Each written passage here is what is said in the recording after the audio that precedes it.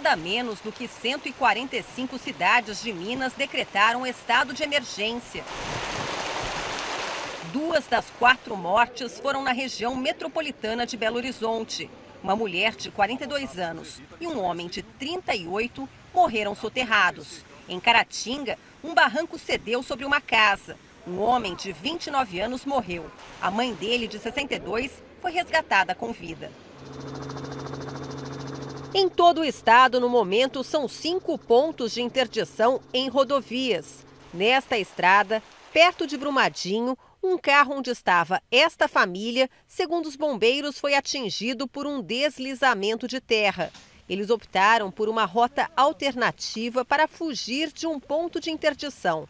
O corpo de uma das crianças de 3 anos e de uma mulher de 42 foram encontrados. As buscas ficam com os bombeiros, né? eles continuam trabalhando no local no momento e nós aguardamos pela Polícia Civil a localização dos corpos para levada ao IML.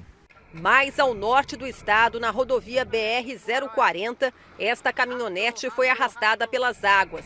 A orientação da Polícia Rodoviária Federal é para que os mineiros não peguem as estradas. A chuva não perdoou nem os trens. Composições que seguiam pela estrada de ferro Vitória Minas foram atingidas por um desmoronamento de terra. As cidades de Santa Luzia, Raposos, Sabará e Nova Lima foram afetadas pelo transbordamento de um mesmo rio.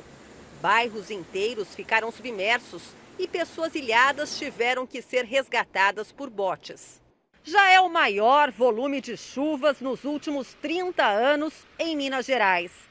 Aqui na cidade de Nova Lima, a 24 quilômetros de Belo Horizonte, pelo menos 600 casas foram atingidas. Em algumas delas, a água chegou no telhado.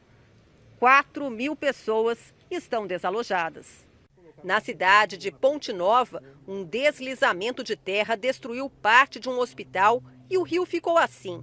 Em Brumadinho, o rio Paraopeba transbordou no final de semana e a água invadiu casas e comércios. Ruas ficaram intransitáveis. A prefeitura acionou um plano de contingência para reduzir riscos. Enquanto isso, a população mineira também se esforça. Cada um ajuda como pode. Eu fico imaginando a sensação das pessoas que tiveram suas casas totalmente no chão, praticamente, porque a gente consegue recuperar com a ajuda de um, com a ajuda de outro, mas não é a mesma coisa.